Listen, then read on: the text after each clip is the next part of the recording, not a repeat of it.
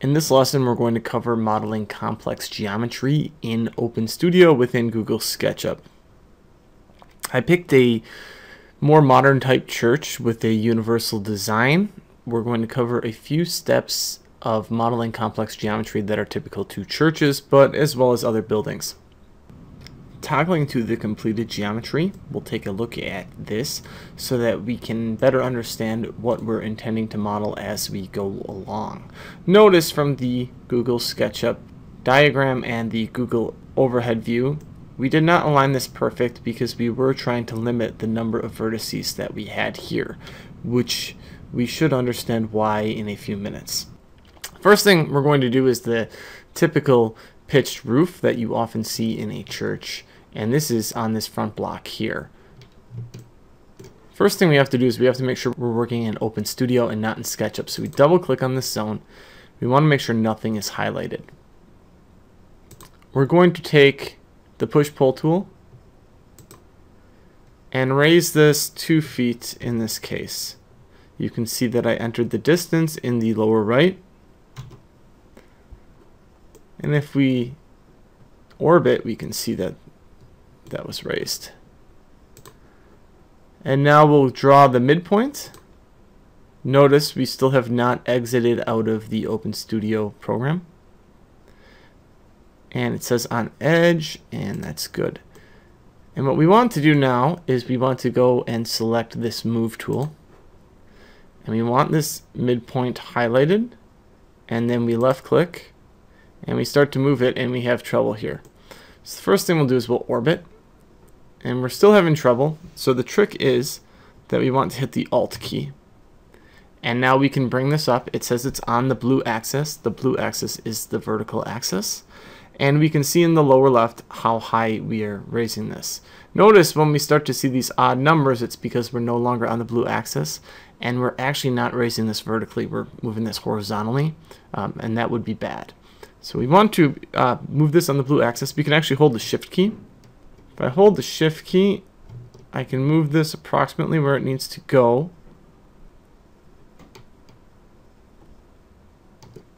And then we can type in the official number and hit enter.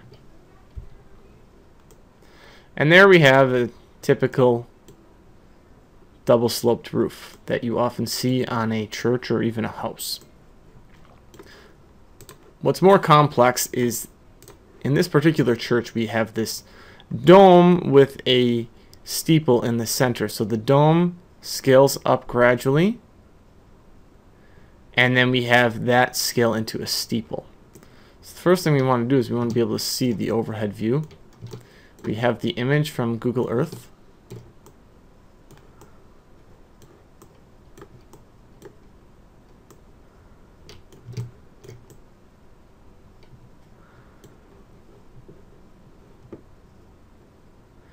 And we're going to go into x-ray mode. And so we can see that there's this slanted wall up into what amounts to a slanted steeple. And what we need to do is we don't actually need to draw all of these lines from every vertex. We actually just need to pick uh, two or three of them. The first thing we want to do again is to select this zone and you can see we have it selected and we're working in the OpenStudio framework we can see through here. And we just want to find the center point.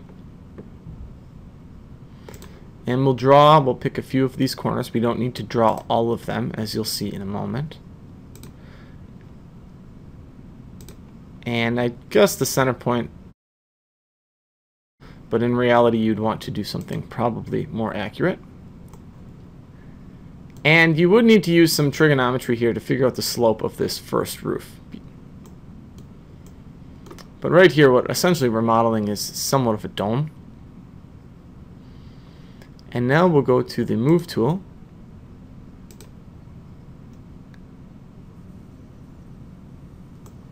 And you can see it appeared that we were raising this, but as I scale, we're actually just moving this kind of erratically. So again, we'll hit the Alt key.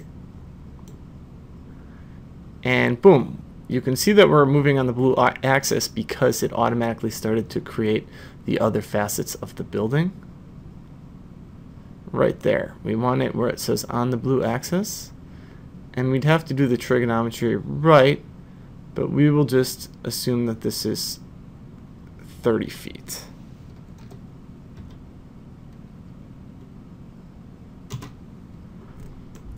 And now what we can do, we didn't have to draw all of the lines before. And when you're setting this up, you notice there was more vertices in the image below that we could have drawn, but you can see that that would make the next step very cumbersome.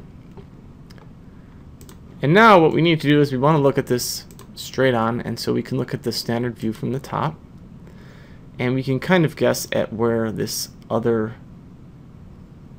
steeple starts. And we have to go from every line or this will not work.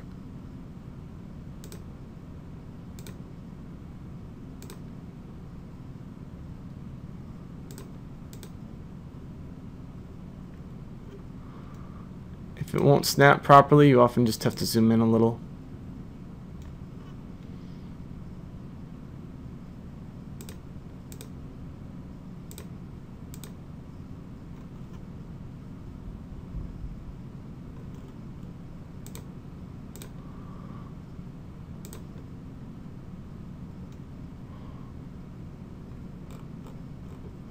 Notice when I zoom, it's actually getting the parallax effect, but that's okay because this will still work.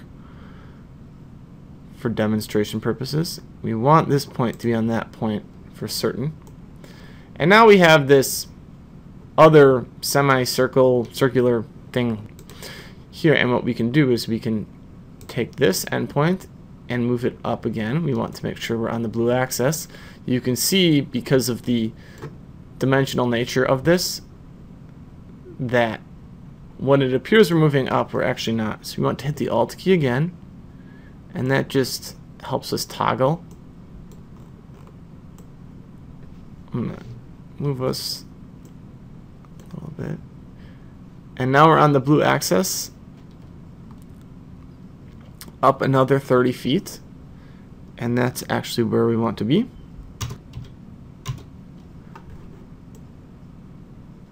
And finally, this particular church, the steeple does not come to a point. And at this part of the design, you could deem that this was good enough, but uh, to just cover the advanced geometry, but we can do one more time, and you can see why now we didn't want to model every single vertex around this. Otherwise, we would have a lot of different roofs. Each one of these segments will be considered a roof. We want to go from point to point.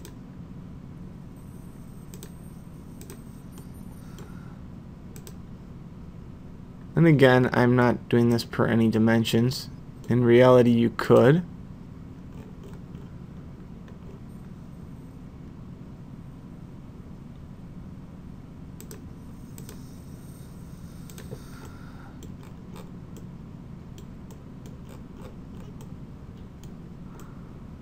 You can see here I did make a mistake. I snapped to the wrong line. I'm going to delete that. at The eraser.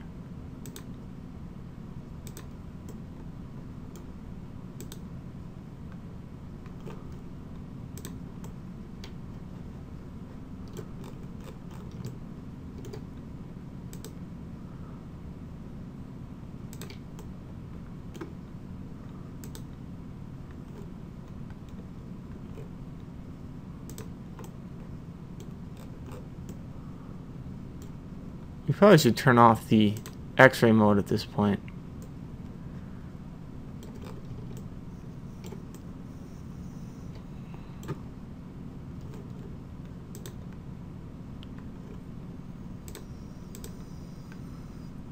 And there's a slight slope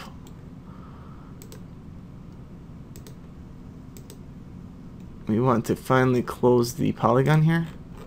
And I may have made a mistake, but we'll check by using this move tool. And this time, you can see, it looks like we're moving this downward, and again, it just doing something odd.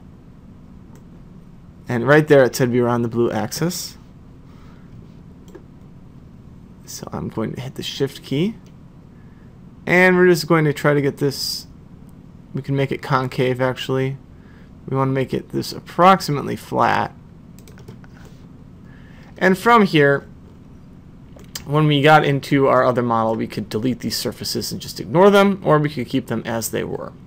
If we had our measurements perfect, this would ultimately be a flat surface, and we could delete these and then add a flat roof here. But uh, this is how we would model some advanced geometry.